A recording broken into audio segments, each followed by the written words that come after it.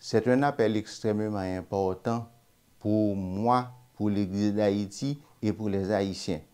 Nous ne sommes pas en guerre avec les autres pays, mais à l'intérieur du pays, nous avons besoin de paix. Parce que il y a beaucoup de gangs armés, très armés dans mon pays. Et ce sont les gangs qui sèment la terreur. Par exemple, le 3 octobre, des gangs dans la zone du bar Antibonite, dans la zone de Pont-Sondé, des gangs ont tué 70 personnes. Beaucoup de maisons ont été incendiées, beaucoup de véhicules. Il y a des femmes, il y a des nourrissons, des enfants, des innocents qui ont été victimes de cette situation.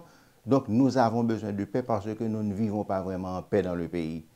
Le nord est coupé de l'ouest, l'ouest est coupé du sud. On ne peut pas circuler librement. Pourquoi? Il y a des gangs armés qui empêchent la circulation et ça ne date pas d'aujourd'hui. Donc un appel de paix, nous devons nous réconcilier avec nous-mêmes.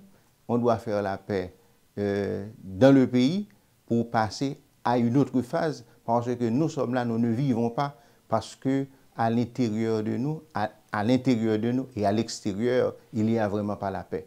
Donc quand le pape lance un tel appel, nous nous sentons solidaires des autres pays parce que nous savons vraiment qu'est-ce que c'est que ne pas vivre en paix. Nous avons besoin de cette paix pour nous-mêmes. Nous allons prier pour les autres pays afin que cette paix devienne une réalité en Haïti et dans le monde.